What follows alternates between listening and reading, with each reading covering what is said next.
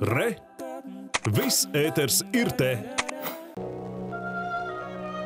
Šovasar radioteātris svinēs 95. dzimšanas dienu.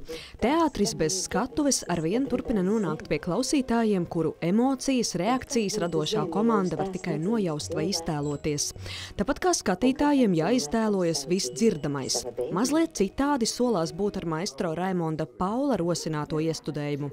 Jāņa Sudrabkalna un Birutas skujanieces mīlas stāstam varēšot sekot līdzi arī TV ekrānos.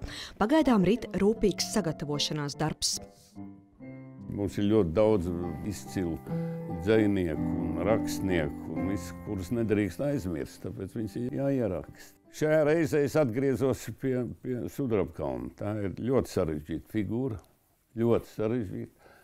Bet nu, nenoliedzam, ka tas ir liels dzinieks. Tā viņa mīlestība ir vienkārši. Es lasīju, un es neticēju, ka tā var rakstīt par mīlestību. Pirmais skaņojums mums ir plānots, kā maestro sacīja, pa vecam sieviešu dienā, sieviešu dienā. Bet mēs uh, centīsimies ierakstīt tā, kā arī televīzija rakstīs, tad tas būs 4. marts mums ir plānots ieraksts. Un 8. tad mēs laidīsim viņu gaisā.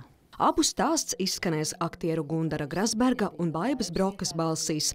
Maestro būs pie klavierēm un dziedās Elza Rozentāle.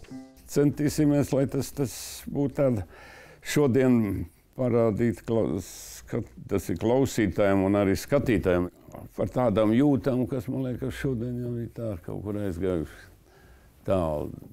Es nezinu, vai kāds vairs tāds rakstīs dzējoņus. Bet šajās dienās ceļu pie radio klausītājiem sācis Lauras Vinogrādovas smeldzīgi emocionālā garstāsta upe dramatizējums. Ne jebkurš darbs ir radiofonisks. Ja? tad strādāt ar šo bija diezgan vienkārši, varbūt man kā dramatizējuma autoram. Ja. Tas ir diezgan skaņš, eh, uzburošs.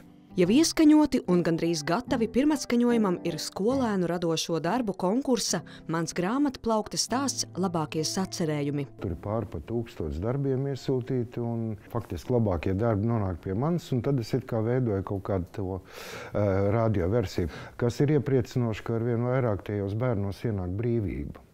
Viņi vairs neraksta tādās pareizās frāzēs, bet viņi sāk rakstīt to, ko viņi patiesi jūt. Zāne Brīkmane, Igors Tūns, Latvijas televīzija.